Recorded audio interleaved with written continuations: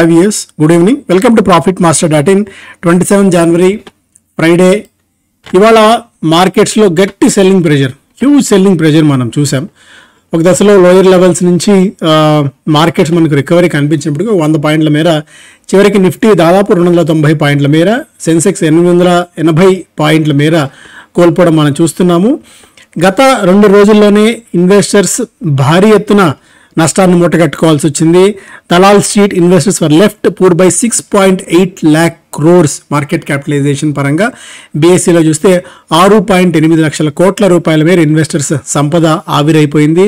రెండు రోజుల్లోనే Hindenburg report ఒకటి హిండెన్బర్గ్ రిపోర్ట్ అలాగే వాటి ఎఫెక్ట్ మిగిలిన మార్కెట్స్ అంటే మిగిలిన సెక్టార్స్ మీద స్టాక్స్ మీద ఏ స్థాయిలో పడిందో మనకు తెలుసుకోవచ్చు. యుఎస్కి చెందిన షార్ట్ సెల్లింగ్ కంపెనీ హిండెన్బర్గ్ ఇచ్చిన అదాని గ్రూప్ మీద ఇచ్చిన రిపోర్ట్ చాలా స్టాక్స్ అంటే అదాని గ్రూప్ స్టాక్స్తో పాటు ఓవరాల్గా దేశ ఆర్థిక వ్యవస్థకి వెన్నుదన్నుగా ఉన్న బ్యాంకుల మీద ఎస్పెషల్లీ పిఎస్సి బ్యాంక్ స్టాక్స్ మీద కూడా పడ్డం మనం చూసాం Adani ports Adani green Adani total gas stocks ఇరవై శాతం దాకా నష్టపోగా అదాని పవర్ ఐదు శాతం అదాని విల్మర్ ఐదు శాతం. తాజాగా ఎన్డీటీవీని ఆయన కొన్న సంగతి తెలుసు మనకి. ఆ స్టాక్ కూడా ఒక ఫైవ్ పర్సెంట్ దాకా పడ్డం మనం చూసాం. అన్ని స్టాక్స్ అదాని గ్రూప్ స్టాక్స్లో సీలింగ్ పడ్డం. చాలామంది రీటైల్ ఇన్వెస్టర్స్కి కంటి మీద కొనుక్కు లేకుండా చేస్తుంది. ఈ హిండెన్బర్గ్ రిపోర్ట్ అనేది మనకి బ్యాంక్ స్టాక్స్ మీద కూడా పడింది. ఎందుకంటే బ్యాంక్స్ లెవరేజ్ తీసుకొని అంటే ఆ స్టాక్స్ కుదువు పెట్టుకొని లోన్స్ ఇవ్వడం సంగతి మనకు తెలుసు. ఒకవేళ ఏదన్నా అదాని గ్రూప్ స్టాక్స్ నిజంగా హిండన్బర్గ్ చెప్పిన రిపోర్ట్ ప్రకారం ఏదైనా అవకతవకలు జరిగి పుట్టి మునిగితే ఈ బ్యాంక్స్ మీద కూడా ఎఫెక్ట్ ఉంటుందన్న కారణంగా and especially state bank of ఇండియాకి ఇరవై వేల కోట్ల రూపాయల ఎక్స్పోజర్ ఉంది అని అనుకుంటున్నాను but I'm not sure about it really. దాని ఎఫెక్ట్ అంటే ఎస్బీఐ కూడా లోన్స్ ఇచ్చింది కాబట్టి దాని మీద ఇవాళ ఒక ఫైవ్ పర్సెంట్ దాకా పడ్డం చూసాం.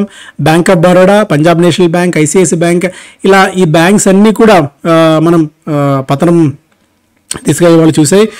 గ్లోబల్ బ్రోకరేజ్ సంస్థ సిఎల్ఎస్ఏ కొద్దిగా పాసిఫై చేసే ప్రయత్నం చేసింది. అంత ఎఫెక్ట్ ఏం బ్యాంక్స్ మీద ఉండకపోవచ్చు. ఎందుకంటే దేశీయంగా అదాని గ్రూప్ సంస్థలకి రుణాలు ఇచ్చిన మన ఇండియన్ బ్యాంకింగ్ ఎక్స్పోజర్ పెద్దగా లేదు. ఓవరాల్గా టోటల్ డెట్లో ఫార్టీ పర్సెంట్ మాత్రమే ఇండియన్ బ్యాంక్స్కి ఎక్స్పోజర్ ఉంది అని చెప్పి చెప్పింది. అలాగే ప్రైవేట్ బ్యాంక్స్కి పది శాతం కంటే తక్కువ డెట్ ఉండొచ్చు. వాటిలో మెయిన్ ఐసిఐసిఐ యాక్సిస్ బ్యాంక్ ఉన్నాయని చెప్పడం మనం చూసాము. పిఎస్సి బ్యాంక్ స్టాక్స్ కూడా ఎక్స్పోజర్ కాస్త తక్కువే ఉందని చెప్పినప్పటికీ కూడా ట్రేడర్స్ అండ్ ఇన్వెస్టర్స్ అంత ధైర్యం చేయలేదు ఈ స్టాక్ హోల్డ్ చేయడానికి. ఫారిన్ ఇన్స్టిట్యూషన్ ఇన్వెస్టర్స్ గత కొద్ది కాలం నుంచి సెల్లింగ్ స్ప్రీలోనే ఉన్నారు. యాజ్ ఆఫ్ నో జనవరిలో ఇప్పటిదాకా ఇరవై మూడు వేల కోట్ల రూపాయల మేర అమ్మకాలు జరిపారు. ఈ రోజు కూడా ఆల్మోస్ట్ ఒక ఆరు వేల కోట్ల రూపాయల మేర అమ్మకాలు జరపడం మనం చూడవచ్చు. ఎఫ్ అండ్ రోల్ ఓవర్స్ జరుగుతున్నాయి. టెక్నికల్ ఫ్యాక్టర్స్ మనం తర్వాత మాట్లాడుకుందాం. ప్రీ బడ్జెట్ జిట్టర్స్ కూడా. సాధారణంగా బడ్జెట్ ముందు మనకి కొద్దిగా టెన్స్డ్ వాతావరణం ఉంటుంది. ట్రేడర్స్ ఎస్పెషల్లీ బడ్జెట్ ట్రేడ్ చేసేవాళ్ళు వాళ్ళకి సర తర్వాత సలహా ఇద్దాం మనం. ఈ లాంగ్ టర్మ్ క్యాపిటల్ గెయిన్స్ గురించి కార్పొరేట్ ట్యాక్స్లో ఏదన్నా మార్పులు చేర్పులు కొద్దిగా పెంపుదల ఉండొచ్చు అన్న వార్తల కారణంగా కూడా మార్కెట్స్లో కొద్దిగా సెల్లింగ్ అయితే చూసాము. ఇక బాండ్ పెరగడం ఇవన్నీ కూడా ప్రధానమైన కారణాలు. ఇవాళ Sensex and Nifty bank Nifty ఆ స్థాయిలో పతనం కావడానికి. టెక్నికల్గా ఎలా ఉంది పిక్చర్ ఈ టైంలో ట్రేడర్స్ ఏం చేయాలి అనే దాని మీద కొన్ని బ్రోకింగ్ కంపెనీ కంపెనీస్ తమ తమ వ్యూస్ని చెప్పాయి. Indicating a decisive downside breakout of the sideways range movement in the market at seventeen thousand eight hundred levels Nifty was trading in range of eighteen thousand two fifty to seventeen thousand two fifty అంటే గత కొద్ది కాలం నుంచి పదిహేడు వేల ఏడు వందల యాభై పద్దెనిమిది వేల రెండు వందల యాభై పాయింట్ల రేంజ్లో నెల రోజుల నుంచి మార్కెట్ ట్రేడ్ అవుతూ వస్తుంది.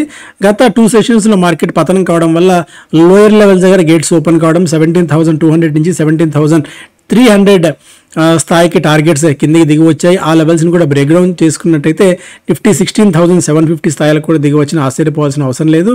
నిఫ్టీకి as of no immediate support seventeen thousand five hundred levels దగ్గర ఉంటే resistance seventeen thousand eight hundred levels దగ్గర ఉంది అని చెప్పి మనకి శామ్కో సెక్యూరిటీస్ చెప్తోంది. ఇక్కడ Nifty remains below seventeen thousand eight fifty as long as Nifty seventeen thousand eight ఫిఫ్టీకి కింద ఉన్నంత వరకు సెల్ ఆన్ రైజ్ స్ట్రాటజీని అవలంబించాలి అని చెప్పి ఎల్కేపీ సెక్యూరిటీస్ సూచిస్తుంది. ఇలా రకరకాల వ్యూస్ మార్కెట్స్ మీద ఉన్నాయి. అయితే స్పెసిఫిక్గా ఏ రోజుకి ఆ రోజు టెక్నికల్ అనాలిసిస్ని ఫాలో చేస్తూ మనం డెసిషన్స్ తీసుకోవడం మంచిది. స్టాక్ స్పెసిఫిక్గా చూస్తేనేమో వేదాంత రిజల్ట్స్ మనం చూసాం. ప్రాఫిట్ నలభై రెండు శాతం మేర తగ్గింది. అయితే స్టాక్కి పన్నెండున్నర రూపాయలు చొప్పున కంపెనీ డివిడెంట్ అనౌన్స్ చేసింది. మనకి పోస్ట్ మార్కెట్ రిజల్ట్స్ వచ్చాయి. ఇక్కడ బజాజ్ ఫైనాన్స్ క్యూటీ రిజల్ట్స్ మంచి రిజల్ట్స్ని పోస్ట్ చేసింది. ప్రాఫిట్ నలభై శాతం పెరిగింది. రెండు వేల తొమ్మిది వందల డెబ్బై మూడు కోట్ల రూపాయల నికర లాభాన్ని కంపెనీ ఆర్జించింది. అంచనాల కంటే భిన్నంగా అంచనాల కంటే మెరుగ్గా బజాజ్ మనకి రిజల్ట్స్ అనౌన్స్ చేయడం బజాజ్ ఫైనాన్స్ రిజల్ట్స్ అనౌన్స్ చేయడం ఒక పాజిటివ్ సంకేతంగా మనం ఇక్కడ భావించవచ్చు.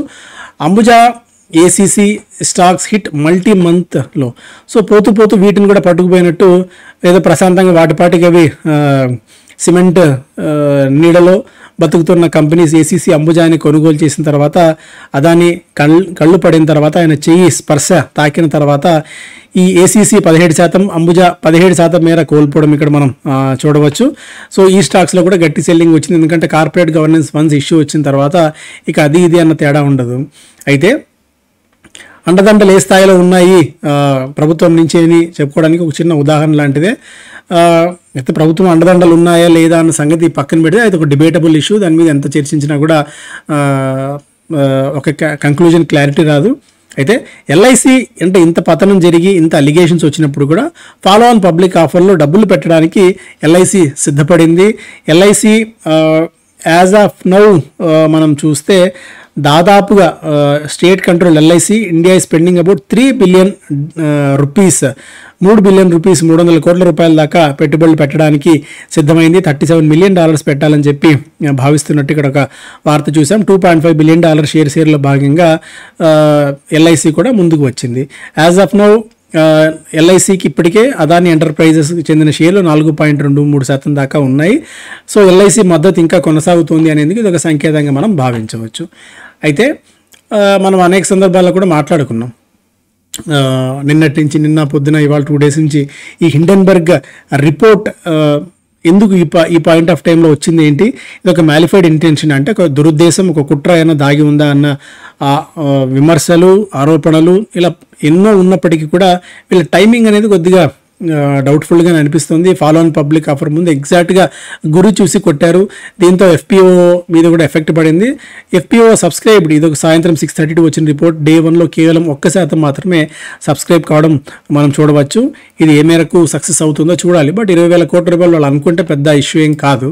ఇక్కడ ఆ, నువ్వా నేనా బస్తీ మీద సవాల్ అన్నట్టుగా హిందెన్బర్గ్ కూడా ఏమాత్రం వెనక్కి తగ్గకుండా మేము లీగల్గా పోరాడతాం మేము లీగల్గా ఫైట్ చేస్తామని చెప్పి వీళ్ళు చెప్తే ఏ మాత్రం వెనక్కి తగ్గకుండా దమ్ముంటే చూసుకుందాం రా అన్నట్టుగా హిందెన్బర్గ్ ఇచ్చిన రిపోర్ట్ కూడా కొద్దిగా ఆశ్చర్యంగా ఉంది. మన మీడియాలో ఎవరు రిపోర్ట్ చేయరు but I feel these people are having steel balls. Thirty six hours మేము రిపోర్ట్ ఇచ్చాము. థర్టీ సిక్స్ అవర్స్ అయినప్పటికీ కూడా అదాని మేము చేసిన దాని మీద ఒక్క సబ్స్టాన్సివ్ ఇష్యూ కూడా ఇష్యూని అడ్రస్ చేస్తున్నట్టుగా ఒక ప్రకటన ఏది రాలేదు. ఎనభై ఎనిమిది స్ట్రైట్ ఫార్వర్డ్ క్వశ్చన్స్ అడిగాం. అందులో ఒక్క క్వశ్చన్కి కూడా సమాధానం లేదు. అలా చెప్తే వాళ్ళే ట్రాన్స్పరెంట్గా ఉంటారని చెప్పి మేము అర్థం చేసుకోవచ్చు. అలా కాకుండా ఏ ఒక్క క్వశ్చన్ కూడా సమాధానాలు చెప్పలేదు. వాళ్ళు రెఫర్ చేశారు. మేము నూట ఆరు పేజీల రిపోర్ట్ ముప్పై రెండు వేల పదాలు ఇందులో ఉన్నాయి. ఏడు వందల ఇరవై సైటేషన్స్ ఉన్నాయి. రెండేళ్ళ పాటు కష్టపడి తయారు చేసిన రిపోర్ట్ ఇది. దీన్ని అంత ఈజీగా తేల్చి పాడేస్తూ అన్ రీసెర్చ్డ్ అని చెప్పి చెప్పారు. Evaluating the relevant provisions under US and Indian laws for remedial and punitive action against us so మీరు లీగల్గా ప్రొసీడ్ అయితే మేము కూడా ఏమాత్రం వెనక్కి తగ్గము. Regarding the companies threats of legal action to be clear we would welcome it we fully stand by our report and believe any legal action take taken against us would be meritless if Adani ఈ serious ఒకవేళ దాన్ని సీరియస్గా ఉంటే యూఎస్లో file చేసుకోమని చెప్పండి రిపోర్ట్ని ఎందుకంటే మాకు కంపెనీ అక్కడి నుంచే మేము ఆపరేట్ చేస్తాం కాబట్టి ఆ documents we have long list of documents we would demand in a legal discovery process so లీగల్గా కూడా తేల్చుకోవడానికి సిద్ధంగా ఉన్నామని చెప్పి చాలా స్పష్టంగా హిండెన్బర్గ్ మళ్ళీ రీజాయిండర్ కూడా ఇచ్చింది. ఇది రీసెర్చ్ ఇది మొత్తం రీసెర్చ్ రిపోర్ట్ సో ఈ రీసెర్చ్ రిపోర్ట్లో ఎక్కడెక్కడి నుంచి వీళ్ళు ఫండ్స్ రూట్ చేశారు? ఎంత వీళ్ళకి డెట్ ఉంది? ఏ కంపెనీస్ ఏ దేశాల్లో వీళ్ళకి కంపెనీస్ ఇట్లా చేసుకుంటూ వచ్చారు? టిప్ ట్రిప్పింగ్ ఆఫ్ క్యాష్ని ఎలా మార్చుకుంటూ వచ్చారు? ఇలా ఫుల్ లెంత్ రిపోర్ట్ క్లియర్ కట్గా హిందన్బర్గ్ రీసెర్చ్ వెబ్సైట్లో పెట్టింది. ఆసక్తి ఉన్న వాళ్ళు ఈ మొత్తం రీసెర్చ్ కూడా చదువుకోవచ్చు. ఎక్కడెక్కడికి వెళ్ళి ఆ ప్లేసులకు వెళ్ళి ఇతర దేశాల్లో ఉన్న వాటన్నిటికీ మీ వెళ్ళి మరి రీసెర్చ్ చేశామని చెప్పి హిందన్బర్గ్ చెప్తుంది. దీని తర్వాత రిపర్క్యూషన్స్ ఎలా ఉంటాయో చూడాలి. ఇది ఒక వైల్డ్ ఫైర్ లాంటిది. ఈ టైంలో మనం ఏదో చలి కాచుకుందాం కదా అని చెప్పి స్టాక్స్ పడ్డాయి కదా అని చెప్పి కొనుక్కుంటే ఇరుక్కుపోయే ప్రమాదం కూడా ఉంటుంది. దీనిలో సెబీ కూడా మేబీ దృష్టి పెట్టే అవకాశం కనిపిస్తుంది. ఎందుకంటే ఇన్వెస్టర్ సంపద భారీ ఎత్తున ఆవిరైపోతుంది. ఒక ప్యానిక్నెస్ మార్కెట్లో క్రియేట్ అవుతుంది కాబట్టి సెబీ కూడా రంగంలోకి దిగి ఈ రిపోర్ట్ మీద ఒక ఇది తేల్చే అవకాశం కనిపిస్తుంది. అందువల్ల ఇది ఒక వైల్డ్ ఫైర్ లాంటిది. ఈ పాయింట్ ఆఫ్ టైంలో ఎక్స్ట్రీమ్ రిస్క్ తీసుకోగలిగిన వాళ్ళు మాత్రమే ట్రేడ్ చేసుకోవడానికి అర్హులు కానీ బట్ ఏదో పడింది కదా అని చెప్పి ఇన్వెస్టర్స్ మాత్రం ఇప్పుడు చేతులు కాల్చుకునే ప్రమాదం చాలా ఎక్కువగా ఉంటుంది. అందువల్ల చాలా జాగ్రత్తగా ఉండండి. ఇక్కడ ఇంకా హెచ్ఏఎల్ పాయింట్ ఆఫ్ వ్యూలో చూస్తే డిఫెన్స్ రిలేటెడ్ స్టాక్స్లో like HAL BDL and BEL లాంటి స్టాక్స్ యాక్టివ్గా ఉన్నాయి. ఈసారి డిఫెన్స్లో కొద్దిగా బడ్జెట్ మరింతగా అంటే ఈ- బడ్జెట్లో డిఫెన్స్కి ఎక్కువగా అలొకేషన్ జరుగుతున్న అంచనాల కారణంగా ఈ స్టాక్స్ లైట్లో ఉన్నాయి. హెచ్ఏఎల్కి two thousand four hundred rupees దాకా క్వశ్చన్ మార్క్ ఇస్తుంది. Decisive breach below two thousand five hundred. May push the stock below further అని చెప్పి చెబుతూ ఓకే చెప్తున్నారు ఇక్కడ. Shares of Hindustan are currently trading beneath the support of two thousand five ninety six mark which is below DMA ఒకవేళ దీన్ని కనుక below దిగితే two thousand four hundred ఒక క్వశ్చన్ మార్క్ లాగా ఉండవచ్చు. Bharat electronics ninety four rupees support level అక్కడ one not five దాకా ఆ మార్క్ని దాటితే one twenty one twenty five దాకా వెళ్ళొచ్చని చెప్పి టెక్నికల్ అని సూచిస్తున్నారు. అలాగే భా- డైనమిక్స్ ఒకవేళ ఫిఫ్టీ డిఎంఏ కనుక బ్రేక్అవుట్ అయితే స్టాక్ పదకొండు వెయ్యి రూపాయల నుంచి పదకొండు వందల దాకా వెళ్ళొచ్చు అనేది ఒక అంచనా. Dixon technology stock level twenty percent lower selling stock list అయిన ఆరేళ్ళ తర్వాత ఫస్ట్ టైం ఇంతటి సెల్లింగ్ మనం డిక్సన్ టెక్నాలజీస్లో చూసాము. ఎందుకంటే కంపెనీ గైడెన్స్ దరిద్రంగా ఉంది కంపెనీ అవుట్లుక్ కూడా అంతంత మాత్రంగానే ఉంది మొబైల్ బిజినెస్ దెబ్బపడింది ఎల్ఈడి టెలివిజన్ బిజినెస్ బిజినెస్ కూడా దెబ్బపడింది ఇలా డబుల్ వ్యామీ కారణంగా ఓవరాల్గా డిక్సన్ టెక్నాలజీస్లో కూడా గట్టి సే గట్టి ఎఫెక్ట్ అయితే మనం చూసాం. ఎందుకంటే కంపెనీ గైడెన్స్ కంపెనీ అవుట్లుక్కే అంతంత మాత్రంగా ఉంది. బిజినెస్ అంత బాగోదు బాగోలేదు అన్నట్టుగా ఎందుకంటే వాళ్ళు ఏదైతే మేజర్గా డిపెండ్ అయ్యారో మొబైల్ బిజినెస్ మీద అది ఎఫెక్ట్ అవుతుంది. అండ్ ఓవరాల్గా ఎల్ఈడి టెలివిజన్స్ వాళ్ళ వైట్ గుడ్ బిజినెస్ మీద కూడా ఎఫెక్ట్ ఉంది కాబట్టి డిక్సన్ టెక్నాలజీస్ గైడెన్స్ కూడా సరిగా లేకపోయిన కారణంగా స్టాక్లో సెల్లింగ్ అయితే చూసాము. టాటా మోటార్ స్టాక్ ఒక సిక్స్ పర్సెంట్ దాకా పెరిగింది. నాలుగు నెలల గరిష్ట స్థాయికి చేరుకోవడం చూసాము. ఎందుకంటే పర్ఫార్మెన్స్ కూడా మెరుగ్గా ఉంది. మళ్ళీ నష్టాల నుంచి లాభాల్లోకి రావడం మనం ఆల్రెడీ డిస్కస్ చేసుకున్నాము. ఐటీసీ ఒక మూడు శాతం మేర పెరిగి రెండు నెలల గరిష్ట స్థాయికి చేరింది ఈ వీక్ మార్కెట్లో కూడా. కాకపోతే ఇప్పుడున్న పరిస్థితుల్లో ఐటీసీకి ఏ మాత్రం బడ్జెట్లో నెగిటివ్ ఎఫెక్ట్ వచ్చినా కూడా ఎందుకంటే last two to three two years నుంచి ఐటీసీకి ఎలాంటి నెగిటివ్ న్యూస్ లేదు సిగరెట్స్ పాయింట్ ఆఫ్ వ్యూలో. ఒకవేళ ప్రభుత్వం ఏమన్నా నిధుల కటకటను దృష్టిలో పెట్టుకుని సిగరెట్స్ మీద ఏదైనా సుంకాలు కనుక పెంచినట్టయితే డైరెక్ట్ ఎఫెక్ట్ ఐటీసీ మీద ఉంటుంది. అందువల్ల ఐటీసీని trade చేయాలనుకునేవాళ్ళు ITC is not a tradable stock anyway ఐటీసీని trade చేద్దాం అనుకున్న వాళ్ళు మాత్రం చాలా అప్రమత్తంగా ఈ పాయింట్ ఆఫ్ టైంలో ఉండాల్సిన అవసరం ఉంది. రిలయన్స్ పది నెలల కనిష్ట స్థాయికి చేరుకుంది. స్టాక్ స్టాక్ మనకి పదిహేను శాతం దాకా డిసెంబర్ నుంచి నష్టపోవడం చూస్తున్నాము. నెగిటివ్ న్యూస్లు వరుసగా కిక్కిన్ అవుతూనే ఉన్నాయి. ఈ అదాని వ్యవహారం గురించి మనం విజయవాడ వర్క్షాప్లో గత ఏడాది నిర్వహించిన వర్క్షాప్లో చాలా క్లియర్ కట్గా శేషు గారు చెప్పారు. ఆ వీడియో కూడా యూట్యూబ్లో ఉంది. దాన్ని బహిరంగంగానే మనం వీడియో పెట్టుకున్నాము. దాని గ్రూప్ స్టాక్స్ ఎలా ఉన్నాయి? ఆ స్టాక్స్లో ఆ గ్రూప్ స్టాక్స్ ఇన్వెస్ట్ చేయడం వల్ల వచ్చే రిస్క్ ఏంటి?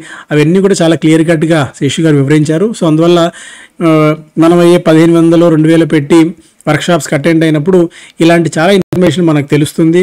సో వర్క్షాప్స్ ఏర్పాటు చేస్తున్నప్పుడు కానీ లేదంటే ఏదన్నా మన ఇంటరాక్షన్స్లో రెగ్యులర్ ఇంటరాక్షన్స్ భాగంగా ఎప్పటికప్పుడు మీరు మీట్ అవుతూ ఉంటే ఇండస్ట్రీ సమాచారం మనకు కొద్ది గొప్ప తెలుస్తూ ఉంటుంది.